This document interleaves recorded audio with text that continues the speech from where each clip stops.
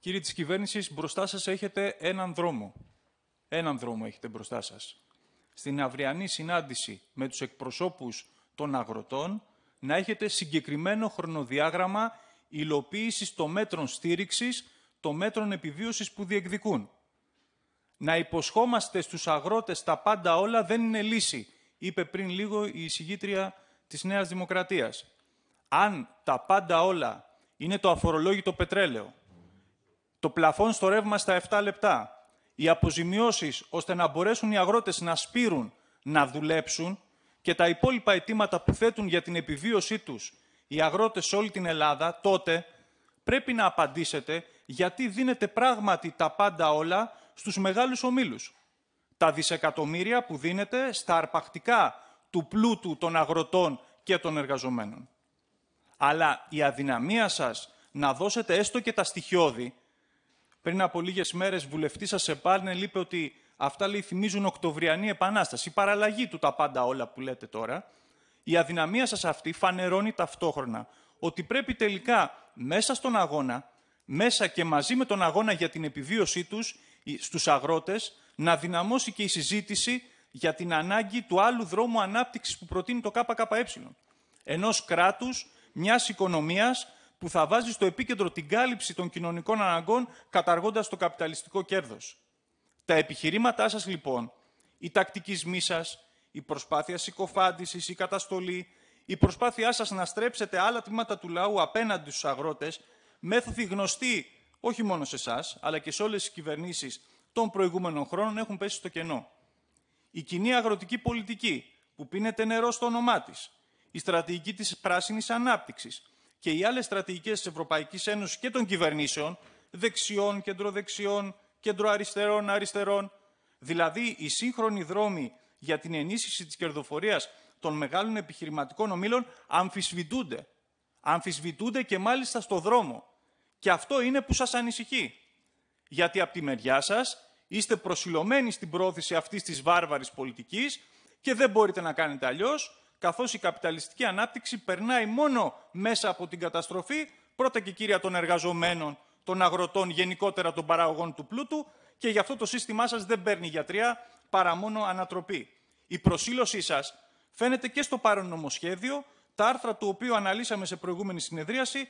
Θα ήθελα να συνεχίσω από εκεί που σταματήσαμε, ώστε να καταγραφεί η τοποθέτηση του ΚΚΕ σε βασικά ζητήματα που διαπραγματεύεται, που ασφαλώς αφορούν και την επικαιρότητα. Όπως για παράδειγμα το άρθρο 32, που αφορά τις αποζημιώσεις για τις καταστροφές.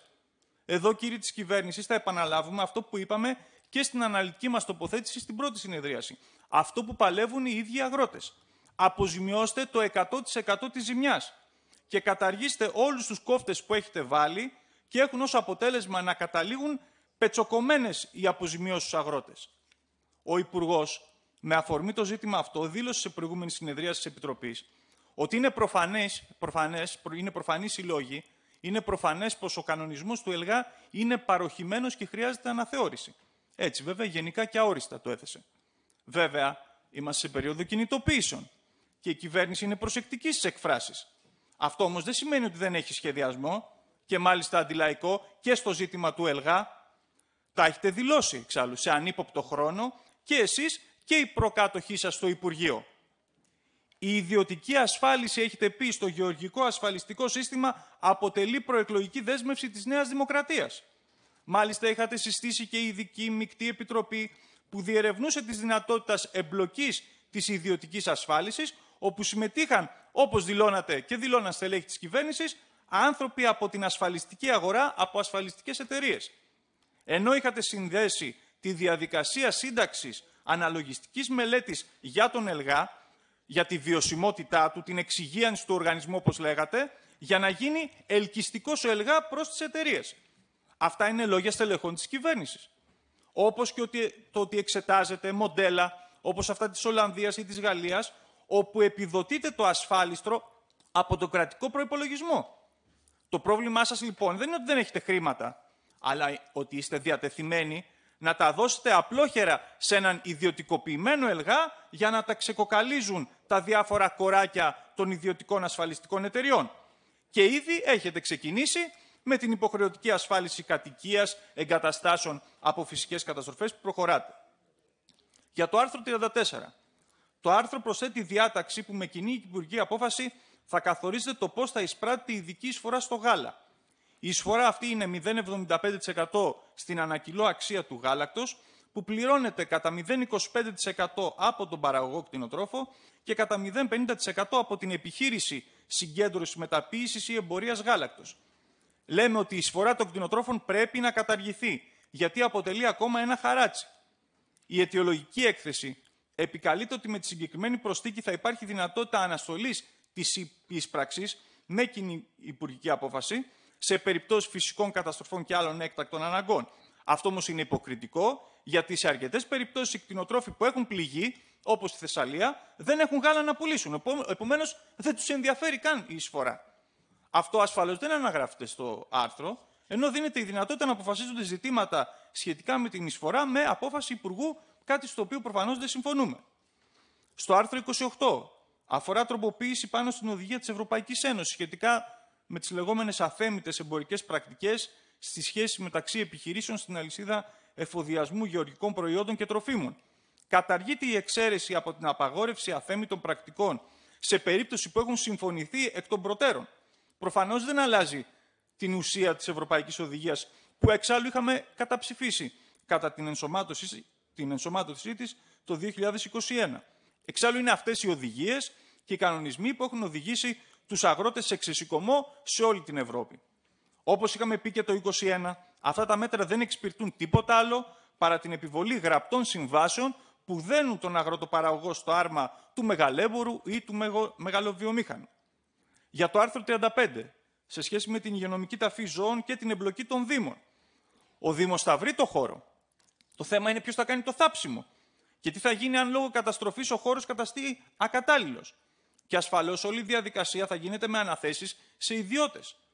Κατά τη γνώμη μας, τέτοιες διαδικασίες που αφορούν σε θανάτωση ζώων, αποκομιδή, υγειονομική ταφή και απολύμανση θα μπορούσαν και θα έπρεπε να οργανώνονται από κρατικές δομές στο πλαίσιο μιας συνολικότερης διαχείρισης.